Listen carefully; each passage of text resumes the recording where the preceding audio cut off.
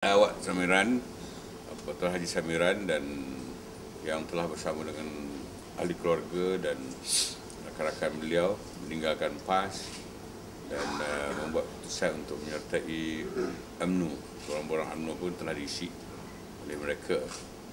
Uh, ini merupakan kejayaan uh, satu peringkat lagi di pihak um, Barisan Nasional di Pasir Salak ini sebagaimana yang saudara sedia maklum sebelum ini kita ada siri-siri um, siri-sirih pulang ke Ganggang yang melibatkan ahli-ahli UMNO yang dulunya telah uh, terjebak ya, terpedaya mengikuti PKR uh, begitu uh, lama dan sekarang sedap uh, kita telah menerima mereka semula.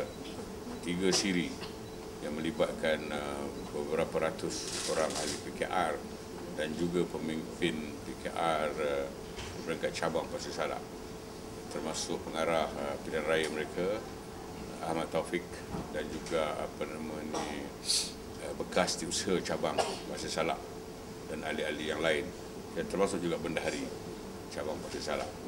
Jadi kita saya merasakan kita telah dapat memecahkan Uh, pertahanan mereka yang sudah makin rapuh ya.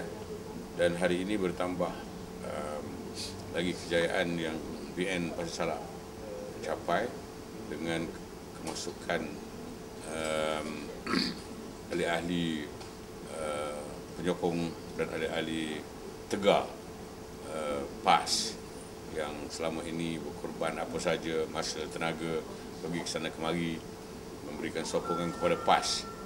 Dia orang bukan sebarang ahli.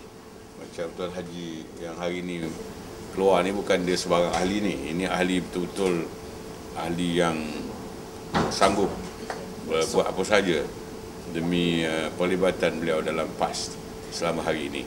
Jadi maknanya uh, bukan senang bagi kita untuk mendapatkan beliau kembali ataupun mendapatkan beliau untuk menyembelahi UMNO dan Barisan Nasional melainkan di atas uh, keinsapan dan kesedaran kesedaran beliau dan juga rakan-rakan di keluarga terhadap uh, apa yang berlaku dalam kepimpinan uh, PAS dan juga rakan sekutu mereka seperti PKR dan DAP yang telah menyempang jauh dalam uh, matlamat perjuangan uh, untuk bangsa, agama dan tanah air.